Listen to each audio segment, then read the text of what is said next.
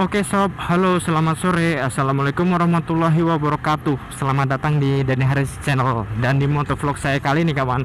Saya akan sedikit membahas tiga mode dari Saber 250 RR ini ya Yaitu adalah mode Comfort, Sport, dan Sport Plus. Ya jadi saya juga bingung sih Diapain sama Honda kok motor 250cc bisa kayak gini gitu tarikannya Ketika menggunakan Sport Plus Ya, jadi di sini saya sekarang riding dengan menggunakan mode sport ya.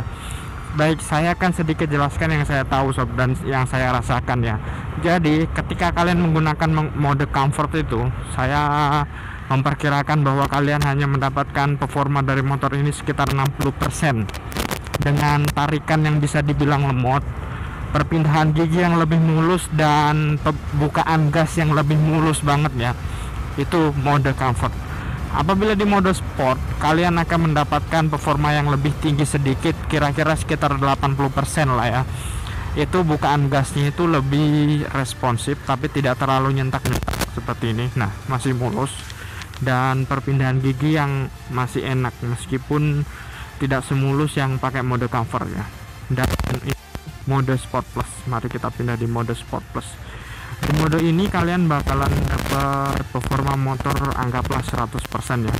Dan ketika kalian buka gas seperti itu nih nyentak nyentak sob. Dia bener-bener kayak mau lari gitu motornya anu akselerasinya luar biasa ya. Itu yang saya rasakan dan uh, dia untuk mencapai kecepatan tinggi itu da, uh, dalam jumlah waktu yang lebih singkat ya sob. Apabila kalian menggunakan sport plus ini dan performanya bener-bener menurut aku sih ngeri sih sob anu enak banget. Nih.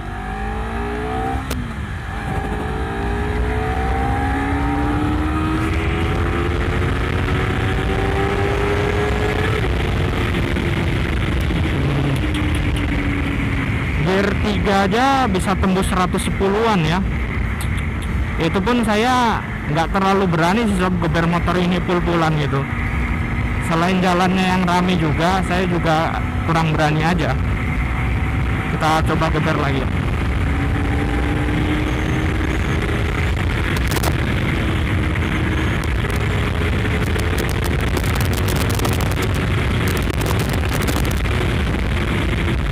Gear 4 120 itu ringan banget sob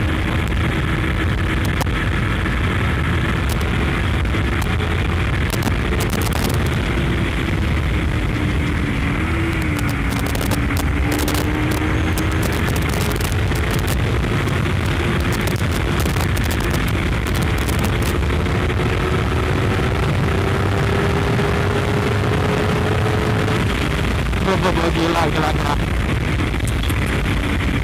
gear 4 135 tembus sob. Dan itu RPM nya baru sekitar 11-10 ribuan ya. Gimana kalau gear 4 nya saya mentokin di 14 ribu? Bisa tembus 150 sob. Itu posisi riding saya belum nunduk full ya. Masih setengah nunduk. Dada saya belum nempel di tangki ya. Gimana kalau sampai nempel di tangki ya sob ya mantul sih. Kita coba geber lagi.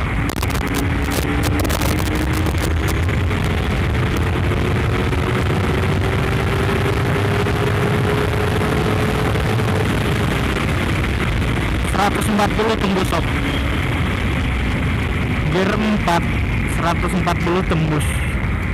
Pantas aja motornya Bang David XXO ya. Itu tembus 198 saya percaya itu. Soalnya performanya memang kayak gini sport plusnya. Dan saya juga percaya sih di YouTube itu ada CBR 250 RR yang bisa ngalahin Ninja RR ya. Padahal itu motor kenceng banget sih. Mantul performanya. Oke coba kita geber sekali lagi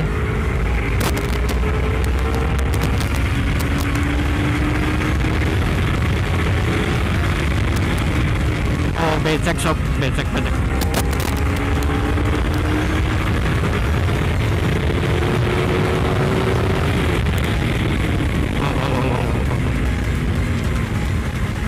Oke cukup. Saya agak ngeri serius ini performanya menurut saya kalian benar-benar merasakan performa motor seakan-akan motor balap ya saya meskipun belum pernah menggunakan motor balap 250 cc itu kayak apa tapi kalau kalian suka kebut-kebutan saya sarankan untuk berhati-hati menggunakan motor ini sob. Karena benar-benar performa akselerasinya itu wow sih. Kalau kita coba dari nol ya kita coba dari berhenti berapa akselerasinya kita tes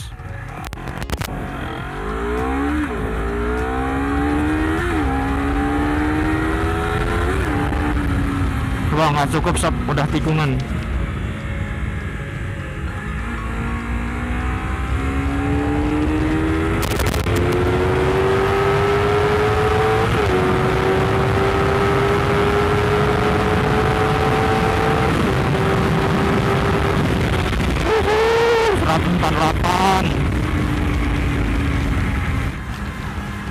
seumur umur baru sekali ini saya naik motor sampai 148 serius. Baru kali ini saya naik motor tembus 148 km per jam. Dan itu baru saya oper ke gear 5 saya pun nggak tega ya sampai limiter nggak tega saya. Baru sekitar 12-13 ribu udah saya oper ya dan sini jalanan becek seperti biasa. Saya akan jalan merayap. Apalagi di sini jalanan sepi ya belakang nggak ada motor. Kalau kalian bilang bang kayak David XXO dong sampai 198 wah saya nggak punya nyali sampai segitu ya sob. Serius saya nggak punya nyali untuk sampai 198 kecuali kayak di sirkuit mungkin ya kayak di sirkuit terus kayak di tempat-tempat yang bener-bener sepi mungkin dia jalan tol gitu mungkin baru berani ya. Itu sih menurut saya. Jadi buat kalian yang pengen beli motor ini kalau kalian nanya performanya jangan ditanyakan lagi ya sob karena itu sudah tidak meragukan menurut saya untuk masalah performanya. Tapi buat kalian yang nanti punya kalian saran saya sih berhati-hati ya soalnya motor ini bener-bener kenceng gitu. Buat para yang udah pada punya alias owner CBR 250 RR ini pasti pasti udah merasain semua ya sport plusnya itu kayak apa. Bener-bener kenceng sih. Dan ini tadi saya pakai BBM pertama ya sob. Kalau kalian tanya kenapa pakai pertama karena di kota saya itu nggak ada pertamax plus ataupun pertamax turbo sob. Jadi saya pakainya pertamax aja oke? Okay? jadi buat kalian semua yang udah nonton terima kasih. Jangan lupa untuk like video ini jika kalian suka dan jika kalian punya pertanyaan sob silahkan bertanya di kolom komentar ya atau langsung DM di Instagram saya @danivablos dan terima kasih buat kalian semua yang udah support support support Dani Haris channel sampai 54.000 subscriber ini ya dan buat kalian yang punya ide-ide video silahkan kalian kasih tahu aku ya sob biar bisa aja jadi konten lagi gitu oke okay?